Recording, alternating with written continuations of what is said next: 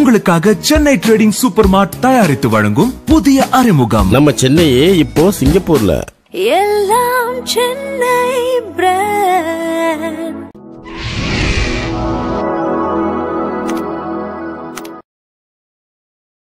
hello friends welcome to Asathal TV இந்த channel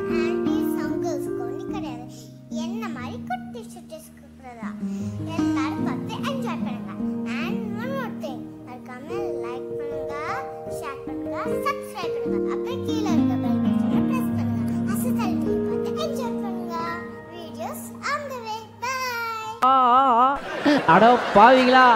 ஏய் பேக்ரவுண்ட்ல போராம முடிச்சுட்டு அபிதாபில பிளைட் ஏறலான்னு வந்தா வேஷ்டி கட்டிட்டு உள்ள ஏறக்கூடாதுன்றீங்களடா ஏய் இன்னைக்கு பார்த்து பல விவகாரத்தை போடாமலே வந்துட்டேனடா. காமெடி பண்ணுறது ரொம்ப ரொம்ப கஷ்டமான விஷயம். ஸோ காமெடி பண்ண போகிறாங்க தெரிஞ்சும் நம்மளை சிரிக்க வைக்கிறது மிக மிக மிக கடினமான விஷயம். இதை வந்து ரொம்ப அழகாக சிறப்பாக செஞ்சுட்டு இருக்காங்க நம்ம அசத்த போவது யார்? மன்னர்களும். அமெரிக்காவுல ரெண்டு வீடு திருநெல்வேலியில ஆறு காரு. இது எல்லாமே இருக்கு. ஆனா கட்டுறதுக்கு ஒரு வெட்டி இல்லலே. யாரோ பத்திரிக்கையில போட்டாதே. அப்புறம் வீட்டுக்கு போனா ஏன்டா புண்ணாக்கு லேடிஸ் பஸ்ல ஏறனேன்னு? என் வேட்டி கிழிச்சா மாதிரி என் பொண்டாட்டி பருவத்தை என்ன டார் டாரா கிழிச்சிருவா?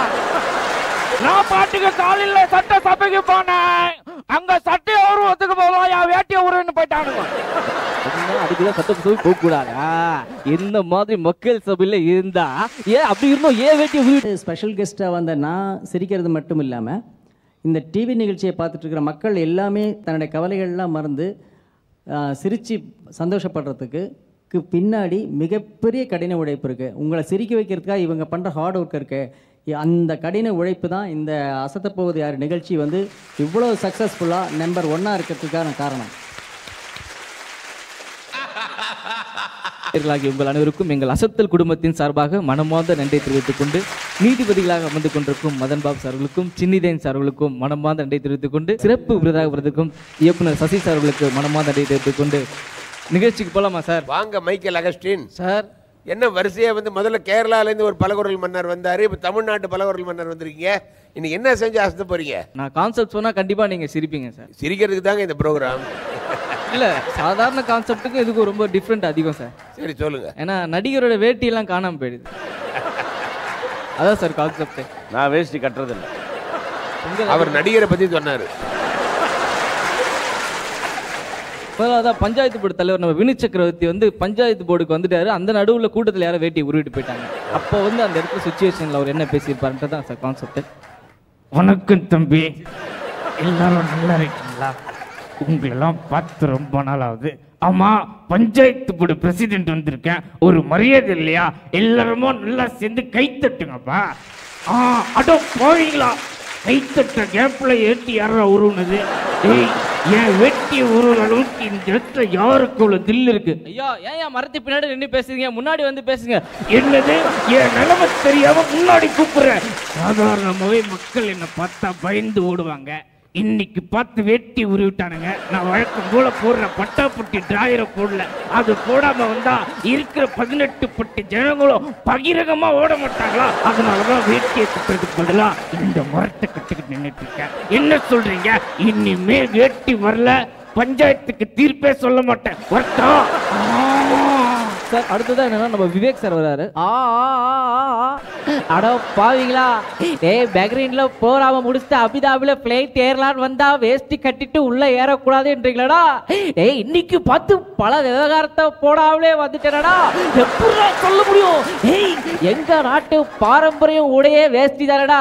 திருமணத்துக்கு போனாலும் சரி பிற சவத்துக்கு போனாலும் சரி வேஷ்டி இல்லாம நாங்க எங்கேயுமே போக மாட்டோம்டா.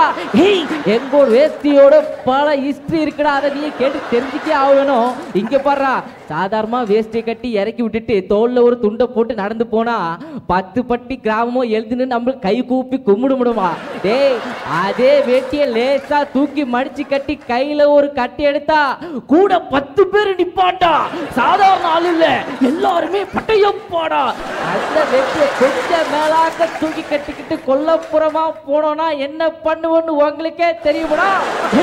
அது மட்டும் அது ஏன் கொஞ்சம் தூக்கி நெஞ்சில கட்டினா குத்து குத்துன்னு குத்துவோம்டா. அதே வெஸ்டிய நம்ம ராஜ்கிரண் சார் ஸ்டைல்ல தொட தெரியாத மாதிரி தூக்கி கட்டி இருந்தோம் ஊரே படம் படுத்து போய் நடுவருக்கு போயிருக்கும்டா.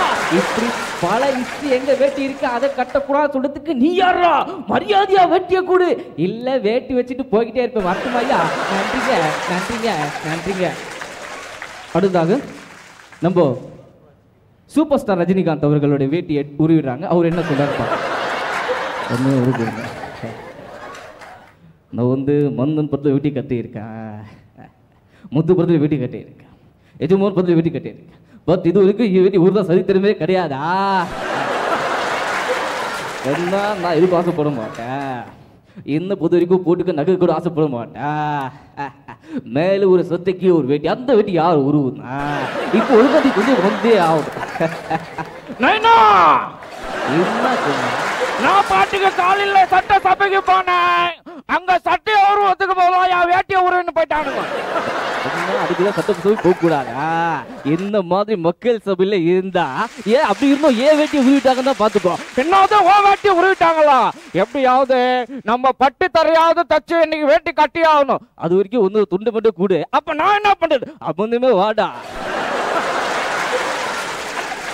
அடுத்தாக நம்ம செந்தில் அவர்களும் கவுண்டமணி அவர்களும். அண்ணே அண்ணே. அட என்ன? காலையில அண்ணன் ஒண்ணு என்கிட்ட இருக்க? அண்ணே என் வேட்டிய காணனே. டேய் அரை ட்ரவுசர் போட்டு ஆறு மாசமாச்சு உனக்கெல்லாம் வேட்டியா? அண்ணே எனக்கு நரசிம்மபுரத்துல பொண்ணு பார்க்க போறாங்கண்ணே. அதனால எங்க மாமனார் வேட்டி வாங்கிட்டு கொடுத்தாருனே டேய் அதுவும் இரவலா. மாமனார் கொடுத்த வேட்டியை காணன்ற ஒரே மருமக இந்த உலகத்திலே நீ தாண்டா டேய் உனக்கு வேட்டி மட்டும் இல்ல இந்தா பழைய பேண்ட் சட்டையோ போட்டு ஜாலியாவே போய் பொண்ணு பாரு. டேய் இன்னொரு வாட்டி திரும்பி பார்த்தா குறுக்கில் எட்டி எடுத்து போடுவேன் ஓடி பேர் நன்றி.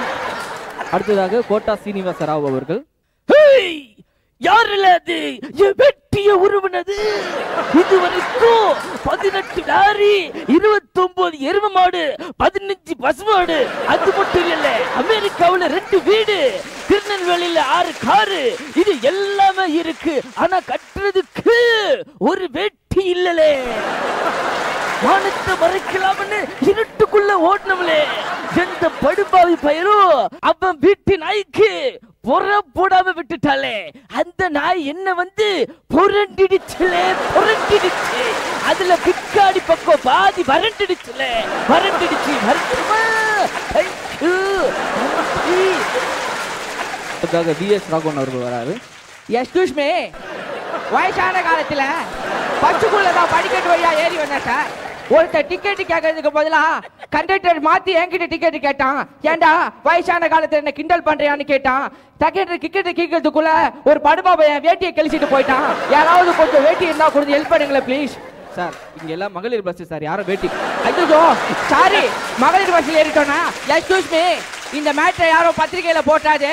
அப்புறம் வீட்டுக்கு போனா ஏன்டா புண்ணாக்கு லேடிஸ் பஸ்ல ஏறினேன்னு என் வேட்டி கிழிச்ச மாதிரி என் பொண்டாட்டி பருவத்தை என்ன டார் டாரா கிழிச்சிருவா சார் ரொம்ப நன்றிங்க ஐயா. Thank you mister so much well done well done ரொம்ப நல்லா பண்ணீங்க. தேங்க்யூ சார் அந்த வேட்டி காணுங்கிறத வச்சு நீங்கள் எல்லா நடிகர்கள் மாதிரியும் நீங்கள் செஞ்சது ரொம்ப எக்ஸலண்ட்டாக இருந்தது. தேங்க்யூ ஈவன் அந்த கோட்டா சீனிவாச ராவ்லாம் பண்ணுறது ரொம்ப ஸ்ட்ரெயின் ஆகிடும் ரொம்ப தொண்டை ரொம்ப ஸ்ட்ரெயின் ஆகும். அதை தாண்டி கண்டினியூவாக ஒரே டேக்கில் இவ்வளோ பேர் மாதிரி நீங்கள் பண்ணீங்க. Well done well done thank you sir thank you thank you நம்ம நிகழ்ச்சி அதுவும் நேரடியா இங்க உட்காந்து பார்த்து சிரிச்சு என்ஜாய் பண்ணீங்க. இதை பத்தி நீங்க என்ன ஃபீல் பண்றீங்க? பொதுவாக காமெடி பண்ணுறது ரொம்ப ரொம்ப கஷ்டமான விஷயம். ஸோ காமெடி பண்ண போகிறாங்கன்னு தெரிஞ்சும் நம்மளை சிரிக்க வைக்கிறது மிக மிக மிக கடினமான விஷயம். இதை வந்து ரொம்ப அழகாக சிறப்பாக செஞ்சுட்டு இருக்காங்க நம்ம அசத்தப்போவது யார் மன்னர்களும். ஸோ ஒரு கதை இப்போ நகர்ந்துட்டு இருக்கிற சமயத்தில் வந்து இந்த சீன் வந்துட்டு போகிறப்ப எதிர்பார்க்கவே மாட்டாங்க. ஸோ சின்ன ஜெயந்தி வந்தாலும் சரி இப்போ சார் வந்தாலும் சரி இது வந்து காமெடின்னு தெரியும். என்ன காமெடின்னு தெரியும் என்ன சொல்ல போகிறாங்கன்னு தெரியாத ஒரு இதில்.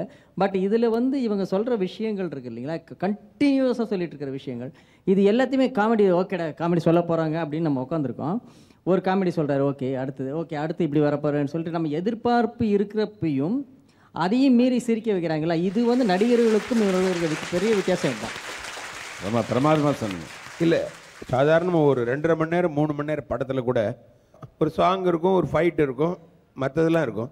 இது ஆரம்பத்துலேருந்து கடைசி வரைக்கும் அது எது இருந்தாலும் அதில் காமெடி மட்டும்தான் இருக்கணும்னு வேற இருக்கிற விஷயம். ஆமாம் ஆமாம் அதாவது இவங்க சொல்லிட்டு வர்றப்ப அடுத்து இவங்க சொல்ல போகிறாங்க அப்படிங்கிறது தெரியுது நமக்கு.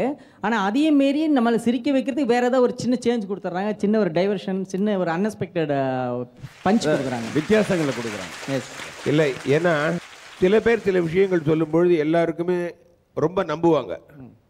நீங்கள் வந்து ஒரு யதார்த்தமான டைரக்டர் அதாவது உங்கள் படத்தில் ஒரு கிளாஸ் இருக்கும். எல்லா படத்துலையுமே. ஸோ நீங்கள் உங்களுடைய பாராட்டுக்கள் எங்கள் அத்தனை பேருக்குமே இது ரொம்ப உற்சாகத்தை கொடுக்கக்கூடியது. அது மட்டும் இல்லை இங்கே வந்து ஸ்பெஷல் கெஸ்ட்டாக வந்த நான் சிரிக்கிறது மட்டும் இல்லாமல் இந்த டிவி நிகழ்ச்சியை பார்த்துட்டு இருக்கிற மக்கள் எல்லாமே தன்னுடைய கவலைகள்லாம் மறந்து சிரிச்சு சந்தோஷப்படுறதுக்கு க்கு பின்னாடி மிகப்பெரிய கடின உழைப்பு இருக்குது உங்களை சிரிக்க வைக்கிறதுக்காக இவங்க பண்ணுற ஹார்ட் ஒர்க் இருக்குது அந்த கடின உழைப்பு தான் இந்த அசத்தப்போவது யார்? நிகழ்ச்சி வந்து இவ்வளோ சக்ஸஸ்ஃபுல்லாக நம்பர் ஒன்னாக இருக்கிறதுக்கான காரணம். இவ்வளோ அற்புதமான நிகழ்ச்சியில் அற்புதம் மட்டும் இல்லாமல் ரொம்ப சந்தோஷமான நிகழ்ச்சியில் என்னை சீஃப் கெஸ்ட்டாக கூப்பிட்டு என்னுடைய வாழ்க்கையில் ரொம்ப சந்தோஷமான ஒரு நிமிடங்களை கொடுத்ததுக்கு இந்த அசத்தப்போவது யார்? நிகழ்ச்சி டீமுக்கும் சன் டிவிக்கும் சன் டிவி நேயர்களுக்கும் என்னுடைய நன்றி நன்றி நன்றி. Thank you sir thanks a lot மறக்காம லைக் பண்ணுங்க ஷேர் பண்ணுங்க சப்ஸ்கிரைப் பண்ணுங்க. இப்போ கீழே இருக்க பெல் பட்டனை ப்ரெஸ் பண்ணுங்க. அசத்தல் டிவியை பார்த்து என்ஜாய் பண்ணுங்க.